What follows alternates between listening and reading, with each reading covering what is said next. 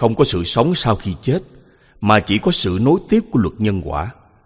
Với trí hữu hạn của con người không thể hiểu thấu được sự tiếp nối của định luật nhân quả luân hồi, nên thấy có sanh và có tử.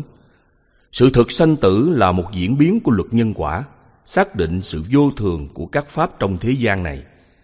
Các pháp trong thế gian này đều chịu luật vô thường, sanh diệt của nhân quả.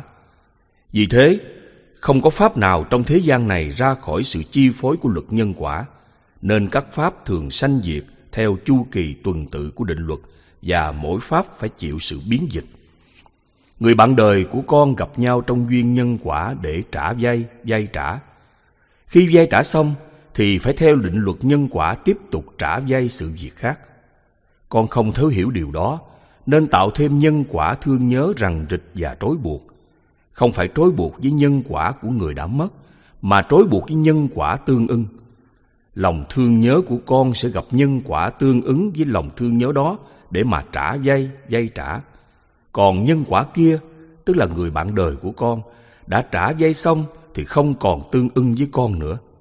Cho nên, con quá vô minh và điên đảo, đã thương nhớ một nhân quả để rồi phải gặt lấy một nhân quả khác đang trói buộc, kiết sử.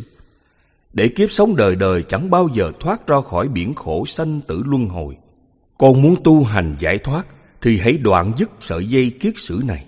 Sợi dây kiết sử này là con đường tiếp tục sanh tử luân hồi đầy đau khổ mãi mãi.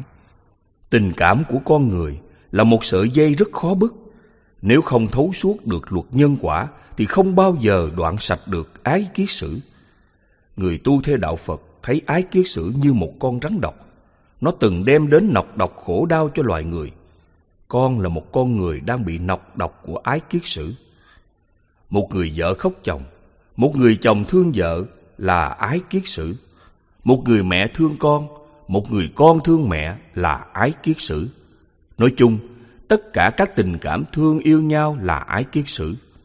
Người nào đã bi lụy vì tình cảm yêu thương ấy, trong đạo Phật gọi là đã bị nọc độc rắn nhân quả cắn. Kẻ nào đoạn đứt được nọc độc này là kẻ đó làm chủ rắn độc nhân quả.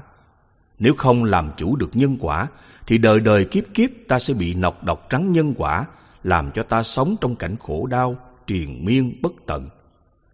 Con cần phải thấu suốt luật nhân quả để không còn buồn khổ vô ích. Trong luật nhân quả, khi một người mất đi thì chỉ còn nghiệp lực của nhân quả tiếp tục tái sanh luân hồi và người bạn đời của con đâu còn cái gì gọi là người bạn của con. Thế nên, sự thương nhớ của con chỉ là nhớ lại một hình bóng ảo tưởng của con mà thôi. Cũng như hiện giờ, trong kiếp sống này con có bao giờ nghĩ đến thương người bạn đời trong kiếp quá khứ của mình chăng? Chắc điều đó không bao giờ có phải không con? Cũng như người bạn đời của con đã chết, thì trong kiếp khác họ đâu có còn nhân quả để mà nhớ đến con nữa. Trong họ chỉ biết kiếp hiện tại của họ mà thôi. Cũng như con bây giờ cũng vậy, chỉ có vô minh điên dại đi khóc nhân quả. Nhân quả có nghĩa lý gì đâu. Nó là những hành động của con rắn độc ái kiết sử. Nó đã làm khổ loài người trên hành tinh này, khiến cho nước mắt của con người còn nhiều hơn nước biển. Trên hành tinh này, duy nhất chỉ có đạo Phật mới dạy con người về lý nhân quả, không có một giáo phái nào mà dạy chúng ta làm chủ như vậy được.